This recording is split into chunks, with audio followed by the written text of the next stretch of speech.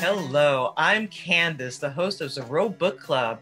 We are currently discussing The Poe Consequence by Keith Steinbaum. And at the end of our discussion, we will have a Q&A with the author and we would like to invite you the viewer to submit your questions to the author.